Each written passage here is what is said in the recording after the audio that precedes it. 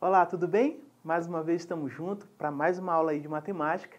Você percebe que a gente está progredindo aí na matéria e hoje a gente ainda vai continuar com o tópico de geometria plana. Porém, vamos falar de polígonos e triângulos. Me acompanha aqui, ó.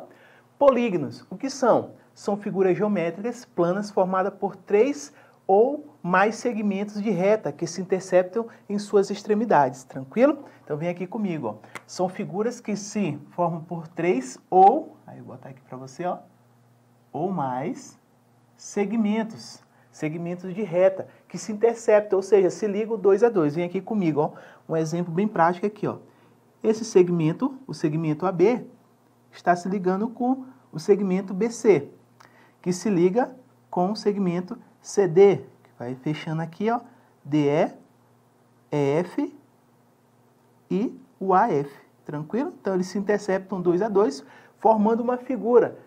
Aí no caso a gente percebe que eles vão formar uma área fechada, né? Então polígono seria isso, eles formam uma área fechada, né? Interceptando, formando um segmento de reta, 2 a 2, né? Formando essa área fechada aqui, tranquilo? Então polígono é essa figura formada aqui. E a gente vai ver agora nesse momento a classificação dos polígonos, beleza? Me acompanha aí na tela. Trouxe aqui uns exemplos. Vamos ver aqui a classificação dos polígonos. Então a gente acabou de ver a definição. Polígonos são essas figuras né, formadas por três ou mais segmentos de reta, formando uma área fechada. A classificação é a seguinte. Nesse caso aqui, nós temos, primeiramente, os polígonos convexos, o que seria a classificação de um polígono convexo? Né? Vamos entender aqui. Você percebe que nós temos os segmentos de reta aqui, né? se interceptando 2 a 2, se encontrando, se ligando 2 a 2. Beleza? Então, ele vai ser convexo quando a gente pegar um segmento de reta, como eu peguei aqui o segmento AB, em qualquer posição que eu marque esse segmento, ele sempre vai estar tá dentro da figura, dentro do nosso polígono, tranquilo? Então, polígono aí, polígono convexo, seria isso. É quando eu pego um segmento de reta qualquer, e em qualquer posição que eu trace ele, esse segmento, ele sempre vai estar tá dentro da figura. Então, convexo é quando eu traço um segmento de reta e ele sempre vai estar tá dentro da figura, beleza? Vamos ver agora o não convexo, também conhecido como côncavo, né? Você percebe aqui eu posso chamar ele de não convexo ou posso chamar ele de côncavo. O que, que acontece? Você percebe que o segmento AB aqui, que nós traçamos agora também, traçamos agora há pouco dentro do convexo, a gente agora trata, é, vai traçar ele dentro do segmento não convexo, né, na figura não convexa. O que, que acontece? Você percebe que essa pequena região aqui, ó, pintada de vermelho, estou pintando para você, ela está fora da figura. Quando isso acontece, quando eu traço um segmento e uma parte desse segmento fica fora da figura, a gente classifica ele como não convexo ou côncavo, tranquilo? Vai ser a mesma coisa, é sinônimo. Então perceba que aqui, se eu traçasse aqui, estaria dentro da figura. Se eu traçasse aqui, ainda estaria dentro da figura. Se eu traçasse esse segmento aqui, estaria dentro da figura. Mas perceba que quando eu peguei essa extremidade, né, ponto A ao ponto B, teve essa pequena parte que ficou de fora. Então, o que, que ocorre? Toda vez que eu traçar um segmento de reta e uma parte desse segmento ficar fora da figura, a gente classifica como não convexo. Beleza? Só então revisando, convexo é quando eu trato, é, traço um segmento e esse segmento sempre vai estar dentro da figura. Não importa a posição aqui que a gente colocar esse segmento. Beleza? Já no convexo, sempre, sempre uma parte do segmento de reta vai estar fora da figura. Beleza? Essa é a principal diferença. Tranquilo? Vamos para uma próxima classificação. Polígonos regulares. Quem são eles? Vem comigo, ó. São polígonos convexos, ou seja, você já sabe o que é um polígono convexo, a gente acabou de ver. Né? É quando eu traço um segmento de reta e esse segmento permanece sempre dentro da figura. Então você já sabe, né? Um polígono convexo. Então, polígono regular são polígonos convexos que possuem todos os lados com medidas iguais e todos os ângulos congruentes. Congruente, nesse caso, a gente avalia como mesma medida. Tranquilo? Vou botar aqui para você, ó. Mesma, mesma medida. Tranquilo? Vou botar aqui para você. Então, vamos analisar. Então, ele vai ser um polígono regular quando os seus lados, ó, você percebe aqui que esse lado com a medida A é igual a esse lado com a medida A, igual também com essa medida A, que vai ser igual a essa medida A. Então, todos os lados, eles são iguais. E os seus ângulos, você percebe que todos os ângulos dessa figura, desse polígono, são ângulos de 90 graus. Então, quando eu tenho um polígono e ele é convexo, tem lados iguais, ângulos iguais, logo eu tenho um polígono regular. Tranquilo? Beleza, vamos para a próxima parte aqui, nomenclatura dos polígonos. Nomenclatura, quando a gente ouve essa palavra, você tem que entender que nomenclatura vai ser o nome, né? Vou pegar aqui para você, ó, vai ser o nome que os polígonos recebem. Tranquilo? Então é o nome da figura. Então a gente classifica, a gente vai dar nome aos polígonos de acordo com a quantidade de lado. Quantos lados ele possui vai ser a sua classificação. No caso aqui, ó, temos número, né, número de lados, e aqui a gente vai ter o nome do polígono. Tranquilo? Então, nomenclatura tem a ver com o nome que a figura recebe. Vem comigo então, ó. Essa aqui você conhece, um polígono de três lados. Né? Nós temos, né, no caso aí, o nosso querido triângulo. Né? Um polígono, no caso de quatro, de quatro lados, a gente chama de quadrilátero. Aí dentro dos quadriláteros a gente vai encaixar o quadrado, o retângulo, paralelogramo, beleza? De cinco lados, né, recebe o nome de pentágono. E aí a gente vai seguindo aqui, né? Seis lados vai ser o hexágono, temos o heptágono, o octógono, o eneágono, o decágono, né? e temos aí o polígono de 20 lados, a gente chama de coságono, né? Esses aqui são os principais que você tem que saber aí o nome, tranquilo?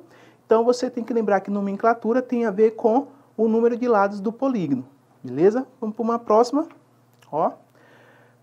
Outra informação importante é o número de diagonais, né? Número de diagonais de um polígono. Como é que a gente calcula, né? Diagonais, primeiramente vamos conceituar diagonais. São segmentos, né? São segmentos de reta que ligam dois vértices não consecutivos de um polígono. Então, perceba que o conceito é bem simples. Vai ser um segmento de reta que liga o vértice. Né? O vértice seria os cantinhos. Né? Isso aqui ó, a gente chama de vértice. Né? Você vai chamar isso aqui de vértice. Beleza? Então, os cantinhos são os vértices. E a diagonal, ela sempre liga dois cantinhos não consecutivos. Perceba que essa diagonal, vamos chamar a diagonal AB, né, segmento AB, né, temos esse aqui, essa diagonal, e também temos essa outra diagonal aqui. Elas ligam pontos não consecutivos, né, os cantinhos, os vértices, beleza? Então, o que você tem que guardar aí na sua mente? Que diagonais tem como a gente calcular o número de diagonais de um polígono. Como é que a gente faz isso? A gente faz isso usando aqui, ó, no caso essa expressão aqui, ó, D igual a n vezes n menos 3 dividido por 2, onde D vai ser o número de diagonais, tranquilo? Diagonais. Tá aqui para você. Beleza? Vai ser as diagonais. E n esse n aqui vai ser o número de lados. Vou botar aqui para você, ó. Vai ser o número de lados. Então, vou botar aqui para você, pegar esse exemplo aqui, ó. Esse polígono de seis lados, que é o hexágono. Como é que a gente faz para calcular né, o número de diagonais dele? Aqui eu já trouxe para você, o número de diagonais dele é igual a 9. Mas vamos provar utilizando essa expressãozinha aqui. Então, no caso aqui vai ficar D igual a N vezes N menos 3 dividido, deixa aqui, ó, dividido por 2. Tranquilo? Logo D vai ser igual N, como é o hexágono, a gente bota 6 vezes 6 menos 3 dividido por 2. Logo, diagonais vai ser 6 vezes 6 menos 3, vai dar 3, dividido por 2. Tranquilo? Vou puxar a setinha para cá, ó. Logo, diagonais vai ser igual 6 vezes 3 dá 18, aí você bota ó, 18 dividido por 2. Logo, o número de diagonais né, vai ser igual a, a 9. Tranquilo? Ó, provamos através da relação, da expressão D igual a N vezes N menos 3 dividido por 2, que realmente o nosso hexágono ele tem 9 diagonais. Tranquilo? Próximo passo, a gente vai falar agora sobre triângulo né, o polígono, bem importante aí no nosso estudo da geometria. O triângulo, como a gente já sabe, são os polígonos formados por três lados. Mas para que um triângulo exista, ele tem que obedecer uma condição de existência. E aí eu trouxe aqui na tela para você também. Veja aqui comigo, ó. Então, nesse caso aqui, o que, que acontece? Eu trouxe um triângulo aqui, um triângulo qualquer, né? O que, que diz a condição de existência? Vou marcar aqui para você, essa condição de existência. O que, que ela vai trazer para a gente? Ela diz o seguinte, é necessário, né, começa aqui, é necessário que a medida de qualquer um dos lados seja menor que a soma das medidas dos outros dois lados. Tranquilo? E tem que ser maior que o valor absoluto da diferença. Vamos traduzir isso aqui? Basicamente, em letras seria isso aqui, ó. O lado A, o lado A, ele tem que ser maior que a diferença entre B e C. E ele tem que ser menor do que a soma de B e C. Aí a gente vai para o outro lado, ó. B, ele tem que ser menor do que a diferença entre A e C. E tem que ser né, menor do que A mais C. E a mesma condição vai servir aqui para o C. O C tem que ser maior do que a diferença entre A e B e menor do que a soma entre A e B. Mas vamos ver aqui um exemplo numérico para que isso aí fixe melhor para você. Trouxe aqui um exemplo, esse exemplo aqui, ó, vai nos ajudar bastante. Por exemplo, esse triângulo aqui, que possui os lados 7, 5 e 4, perceba que o 7, né, o 7 aqui, ó, ele vai ser maior do que a diferença entre 5 e 4. 5 menos 4 é 1. Logo, a gente está provando aqui que realmente 7 é, é maior do que a diferença entre 5 e 4. Perceba também que 7 ele vai ser menor do que a soma de 5 com 4. 5 mais 4 dá 9. 9 realmente é maior do que 7. Beleza? Então, está provado aí, esse lado está batendo aí a condição de existência. Vamos ver esse aqui. Agora a gente pegou o outro lado, que é o 5. O 5 ele tem que ser maior do que a diferença entre os outros dois lados. No caso, 7 menos 4 dá 3. Realmente 5 é maior do que 3. E ele tem que ser menor do que a soma. 7 mais 4 é 11 e realmente 5 é menor do que 11. Para a gente fechar, pegar aqui o 4. Ó, agora a gente prova com 4. O 4 ele é maior do que a diferença entre 7 e 5, que dá 2. E ele é menor do que a soma do que a soma do 7 com 5, que dá 12, realmente maior do que 4. Então, provamos aí que a condição de existência ela é válida para qualquer triângulo, tá? Sempre tem que respeitar essa condição de que um lado ele é maior do que a diferença dos outros dois lados e ele vai ser sempre menor do que a soma dos outros dois lados. Tranquilo? Essa é a condição de existência. Agora a gente vai falar sobre soma dos ângulos internos de um triângulo. Uma relação bem importante aí. Vamos imaginar um triângulo, esse triângulo que eu trouxe para você. E dentro da geometria, a gente, quando quer especificar um ângulo, a gente usa letras gregas, né? No caso aqui a gente tem alfa, temos beta e temos teta. São letras gregas para representar um ângulo qualquer. O que, que a relação diz para a gente? A soma dos ângulos internos ela sempre vai ser igual a 180 graus. Então, você tem que guardar aí, né, na sua memória que a soma dos ângulos internos, ela sempre, sempre será igual a 180. Então, se eu pegar o alfa, somar com beta e somar com teta, isso sempre tem que ser igual a 180 graus, beleza? E isso não muda, sempre a soma dos ângulos internos será igual a 180 graus, beleza? Trouxe um exemplo para a gente aplicar aqui, né? Vamos aplicar esse teoremazinho aí da soma dos ângulos internos nesse triângulo aqui, ó. Calcule o valor de x e dos ângulos do seguinte triângulo. Então, ele quer o valor de x e também quer o valor dos ângulos. Né? Então, vou botar aqui para você, ó. Vou botar aqui.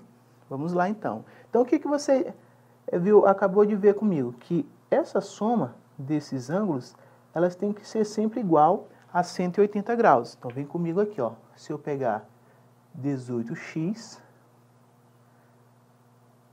e somar com o 10x e somar com o 32x, isso tem que ser sempre igual a 180 graus.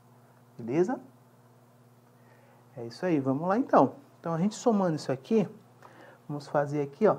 Isso aqui vai dar 50, 60, 60x. Beleza? 28, ó, 18, mais 10, 28, com 32, 60x. Tranquilo? Vamos lá, então. Então, aqui vai ficar igual a 180 graus, a gente forma uma equaçãozinha, né? Quem está multiplicando passa dividindo, 180 dividido por 60. Esse ângulo x aqui, então, ele vai valer 30 graus. Tranquilo? Só que ele pediu o valor de x e também o valor dos ângulos. Então, basta a gente fazer o seguinte. Pegar 10 e multiplicar por 30. A gente saber aqui né, esse ângulo. Vou pegar o 18 e multiplicar por 30. E vou pegar, né, só ajeitar, só corrigindo, né? Aqui não é 30, é 3 corrigir aqui rapidinho. Então, no caso aqui é 3. X vale 3, tá? Então, botar o igual aqui, ó. Esqueça esse zerinho aí. E 32 vezes 3. Beleza? Então, apaga aqui, ó. No caso aqui, apagar o zerinho aqui, que x vale 3 graus, beleza? Então, isso aqui vai dar 30 30 graus, agora sim é o 30 graus, já estava botando a resposta para você, né? 18 vezes 3, isso aqui nós vamos ter 54 graus. E 3 vezes 32 vai dar 96 graus. Tranquilo? Perceba que se eu somar isso aqui, ó, somando todos os ângulos, isso aqui vai ser 180, 180 graus. Beleza? Tranquilo? Então está provado aí para você que sempre a, soma dos ângulos internos do triângulo sempre vai ser igual a 180 graus. Beleza? Vamos aqui, vem aqui comigo. Então a gente acabou de ver condição de existência, né? vimos também o, teorema, o teoremazinho que fala sobre a soma dos ângulos internos, e nesse momento a gente vai estudar as classificações. Por que, que é importante estudar as classificações? Geralmente as questões ele só dá o nome do triângulo para você. Então é interessante que você saiba classificar o triângulo, beleza? Vem comigo aí na tela. Vamos ver mais uma vez aqui, ó, a classificação agora. Vamos ver aqui, ó. Então, classificação, como eu botei aqui, existe várias classificações. Nesse caso, a gente vai se é, ficar, no caso, estudando duas classificações. A gente vai estudar quanto aos lados e quanto aos ângulos, tranquilo? Então, vou botar aqui para você, a gente vai estudar essas duas classificações, quanto aos lados e quanto aos ângulos, que é o mais interessante, né, que cai aí nas provas. Então, vem comigo aqui. Primeira classificação é em relação aos lados. Em relação aos lados, ele vai receber basicamente três nomezinhos. Vou botar aqui para você, ó. Né? Vai receber três nomezinhos. O triângulo, quanto ao lado, ele pode ser equilátero, equilátero. Ele pode ser isósceles. Beleza? Ó. E ele pode ser escaleno. Isso em relação à classificação de lados. Beleza? Então vem comigo. Então temos aí, ó, o primeiro é equilátero. O que é um triângulo equilátero? É aquele triângulo que possui né, os três lados, os três lados com medidas iguais. Então, as suas medidas dos três lados vão ser iguais. Então, aqui um exemplo para a gente fixar, né? Perceba que esse triângulo ele é equilátero, né? Porque ele possui todos os lados, ou seja, os três lados com a mesma medida. Então, toda vez que você tiver um triângulo com os lados com a mesma medida, você vai ter um triângulo equilátero, beleza? Vamos ver outra classificação. Como eu falei para você, agora a gente vai falar sobre o triângulo isósceles. Qual é a característica que você tem que guardar desse triângulo isósceles? Ele possui dois, dois lados com medidas iguais. Então, ele vai possuir o isósceles, o isósceles, dois lados com a mesma medida. Então, aqui, ó, esses dois lados iguais, né? Classificando aí o triângulo como isósceles, beleza? Então, vamos para agora a classificação do escaleno. O escaleno, olha a característica dele. Possui os três lados, ó, os três lados com medidas diferentes, beleza? Se diferencia do equilátero. No equilátero, a gente tem todos os lados iguais, no escaleno você tem todos os lados diferentes, ó. Beleza? Então guarde aí, ó, essa informação e você viu a classificação quanto aos lados, beleza? São essas três classificações. Vem aqui comigo, ó. Quanto ao lado, são três classificações: equilátero, é, escaleno e isósceles. Essas três classificações em relação ao lado, beleza? Vem comigo na tela. Vamos ver agora a classificação em relação ao ângulo, né? Ó, agora a gente vai estudar em relação ao ângulo. São três também. Beleza? Nós temos o triângulo retângulo. Opa, uma puladinha aqui.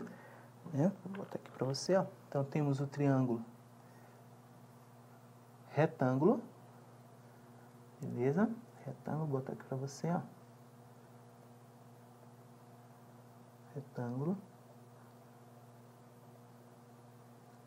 temos o acutângulo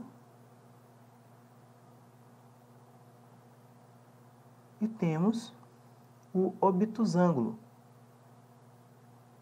Obtusângulo. Beleza?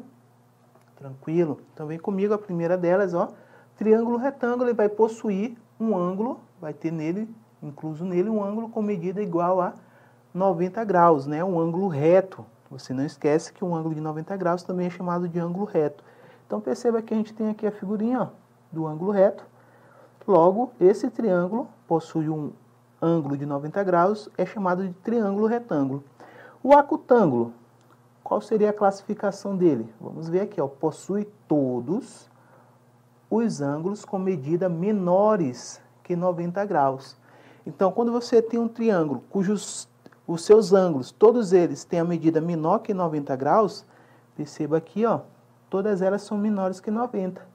Logo, a gente tem um triângulo acutângulo, beleza? Próxima classificação, triângulo obtusângulo, né?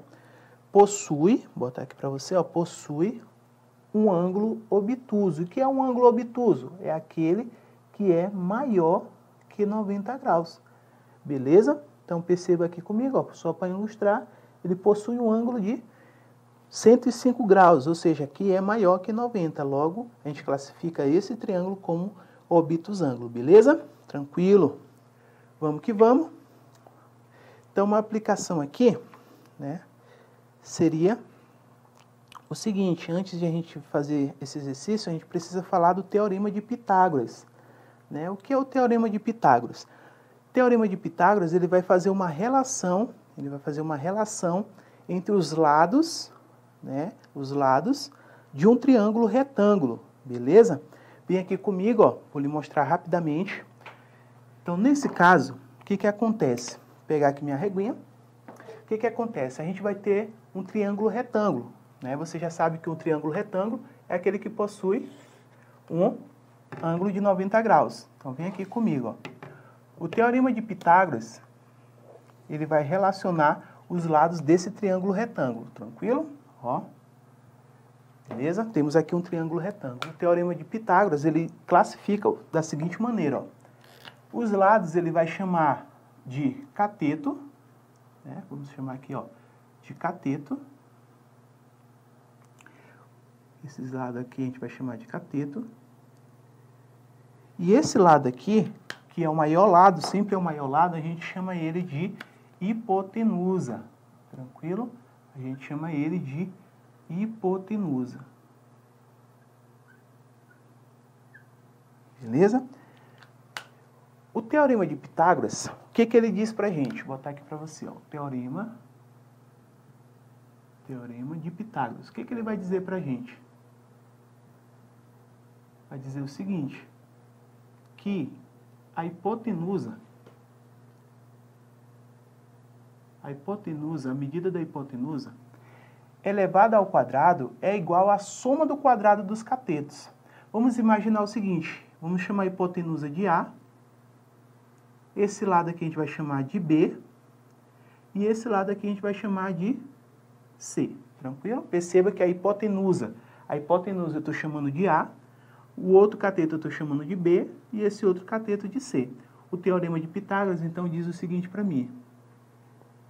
A hipotenusa, a medida da hipotenusa elevada ao quadrado, vai ser igual, vai ser igual à soma do quadrado dos catetos, ou seja, B ao quadrado mais c ao quadrado. Beleza? Então, você vai ter essa relação aqui do triângulo retângulo, né? Por isso, esse triângulo, guarde ele com muita importância, tá? Muito importante aí, muito cobrado nas questões de concurso. Então, você sabe, então, que o teorema de Pitágoras diz que a medida da hipotenusa ao quadrado, ela vai ser igual à soma do quadrado dos catetos. É essa relação aqui. Vem comigo na tela para a gente ver um exemplo e fixar melhor isso aí, beleza? Vem comigo e olha o que diz aí. Ó. O telhado de uma casa está com altura de 3 metros e o comprimento onde vai as teias tem 5 metros, conforme a figura abaixo. Qual o comprimento para fazer a beirada da casa, ou seja, o valor de x? Beleza. O que, que você percebe? Nós temos o triângulo retângulo, como eu já falei, muito importante né, aí nas provas de concurso aqui o ângulo de 90 graus, ele sempre vai funcionar como se fosse uma setinha, né? Apontando aqui, ó, para o maior lado, que é a hipotenusa. Nesse caso é aqui, ó. Sempre o maior lado é a hipotenusa. Sempre o maior lado você indica como a hipotenusa, beleza? E temos os catetos aqui, ó. Como vimos, o teorema de Pitágoras, ele nos diz o seguinte, que A ao quadrado é igual a B ao quadrado mais C ao quadrado. O A é a hipotenusa, então você vai pegar a medida da hipotenusa, que é 5 ao quadrado, igual a 3 ao quadrado, mais x ao quadrado. Beleza? 5 ao quadrado vai dar 25. 3 ao quadrado vai dar 9. x ao quadrado, x ao quadrado. Beleza? Esse 9 ele passa aqui por subtraindo, né? o sinal de igualdade. No caso, fica x ao quadrado aqui, ó. 25 menos 9 vai dar 16. E aqui, x ao quadrado. Você lembra que a operação inversa da potenciação é a radiciação. Então, quem está como expoente vai passar como radical. x é igual a raiz quadrada de 16. Logo, x ele vai ser igual a 4. Beleza? Aplicamos aí um exemplo prático do teorema de Pitágoras. Beleza? Só não esqueça que sempre o maior lado vai ser a hipotenusa. Então você substitui, né, no caso aqui, no lugar sempre do A, que representa a hipotenusa. A hipotenusa ao quadrado é igual à soma do quadrado dos catetos. Tranquilo? Vem comigo aqui no quadro, que agora a gente vai fazer, vamos falar sobre triângulos pitagóricos. Né? Sempre dentro da geometria você vai encontrar os triângulos pitagóricos. Triângulos triângulos pitagóricos. Os triângulos pitagóricos, eles nos auxiliam para fazer o cálculo, achar uma medida bem mais rápido, sem utilizar o teorema de Pitágoras, tranquilo? Vem aqui comigo, ó. vamos imaginar então um triângulo retângulo, lembrando que o teorema de Pitágoras sempre se relacionando aí com o triângulo retângulo, tá? Então, nesse caso aqui, ó, o mais utilizado dos triângulos pitagóricos, né, seria o 5, seria, no caso, o 4 e o 3. A gente acabou de ver nesse nosso exemplo, né, agora há pouco. Esse é bem famoso, o triângulo pitagórico 5, 4, 3. Como é que é uma aplicação dele? Vamos imaginar, vamos imaginar que eu tenha um triângulo dessa seguinte forma. Vou botar aqui para você, ó. Triângulo da seguinte forma. Essa medida igual a 10, essa medida igual a 8, e eu quero que você me diga quanto equivale essa medida aqui, ó. Beleza? Você percebe comigo o quê? Que esse lado aqui, ó, que esse lado aqui é a mesma coisa do 5 multiplicado por 2. Beleza? Esse lado aqui é a mesma coisa do 4 multiplicado por 2, ó. 4 multiplicado por 2, 5 multiplicado por 2. Logo, esse lado também ele vai ter que ser multiplicado por 2. Ou seja, esse x aqui vai ser 3 vezes 2. Logo, x vai ser igual a 6. Tranquilo? Vai ser igual a 6. Se você aplicasse o teorema de Pitágoras, você também conseguiria chegar no mesmo valor. Só que se você já pega o triângulo pitagórico feito, isso dá uma celeridade para você na hora do cálculo, beleza? Me acompanha aí, vamos fazer alguns exercícios para a gente fixar isso na nossa memória, beleza? Vem comigo. O primeiro diz assim, ó. Sendo o número de diagonais de um octógono o quíntuplo do número de lados de um polígono, conclui-se que esse polígono é um Vamos lá, vamos traduzir isso aqui.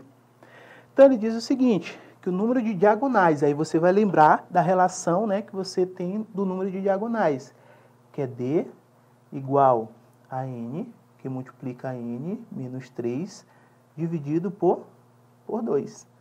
Beleza?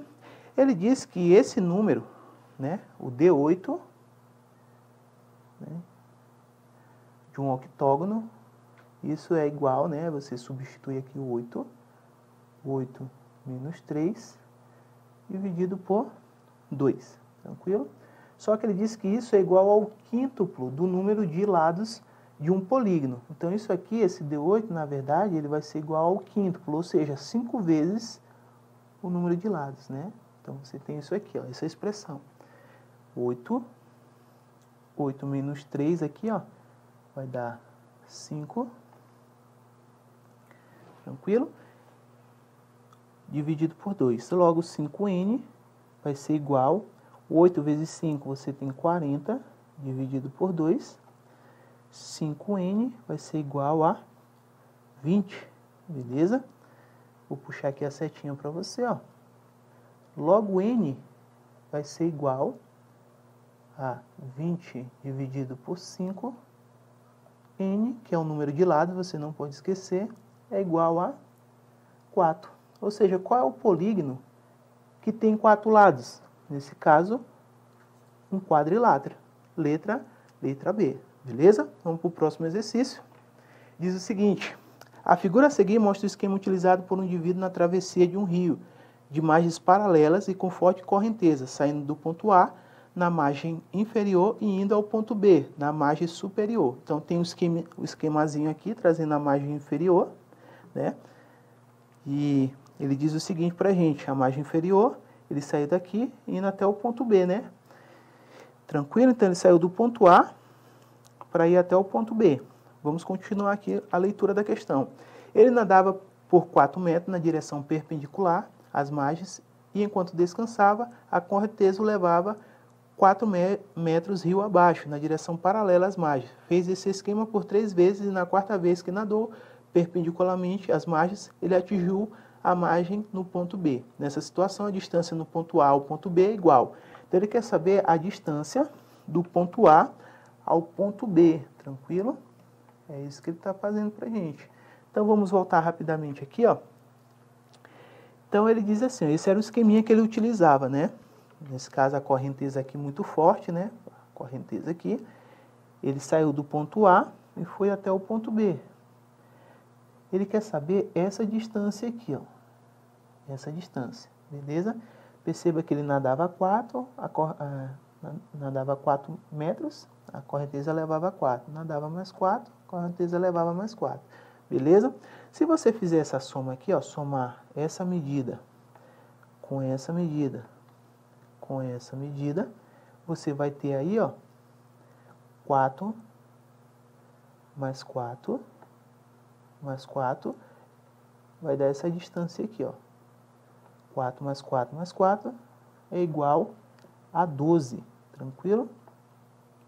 Então, para fechar aqui, ó, aí você vem e soma isso aqui, ó. 4, 4, 4 e 4. 4, 4 vezes, isso dá 16. Então, para a gente saber o valor aqui da distância, a gente chama de x, e você percebe que é um triângulo, o que aqui? Um triângulo retângulo. Então, dá para a gente aplicar o teorema de Pitágoras, ó, x ao quadrado é igual a 12 ao quadrado mais 16 ao quadrado. Medida da hipotenusa, né? Lá do teorema de Pitágoras. Vou botar aqui para você, ó. A medida da hipotenusa, que é sempre o maior lado, é igual à soma do quadrado dos catetos, beleza? Então, x ao quadrado é igual a 12 ao quadrado dá 144. 16 ao quadrado vai dar 256. Isso aqui somado vai dar vai dar 300, 400. Aí você tira a raiz quadrada né, de 400. Isso aqui vai dar para gente um valor de 20. Tranquilo? Então, essa medida aqui, de A até B, ela vale 20. Tranquilo? Então, aí, nossa alternativa, letra, letra A. Beleza? Vamos fazer só mais uma para fechar. Olha o que diz aí. A respeito dos elementos dos triângulos, que são figuras geométricas, geométricas encontradas neles e fazem parte da sua constituição, assinale a alternativa correta. Um triângulo possui diagonais. Não, o triângulo ele é um polígono, porém não possui diagonais. Então, essa letra A a gente já descarta, beleza? Então, já descarta a letra A aqui, ó. Letra B. Um triângulo possui no máximo dois ângulos retos entre seus ângulos internos. Não, também não. No máximo dois não. É só um ângulo, somente um ângulo reto, né, de 90 graus. E letra C. O número de vértices, o número de vértices, lados e ângulos internos de um triângulo é igual a 3. Realmente, se você pegar aqui, ó, o triângulo, número de vértices, os cantinhos, 1, 2, 3, número de lados, lado 1, 2, 3 e os ângulos, 1, 2, 3. Então, nossa alternativa aí, letra, letra C. Tranquilo? Mais uma vez, mais um conteúdo aí batido. Espero que você pratique bastante para fixar esse assunto e logo, logo, né, você possa alcançar o sucesso aí na sua aprovação. Fique com Deus, um abraço e até a próxima.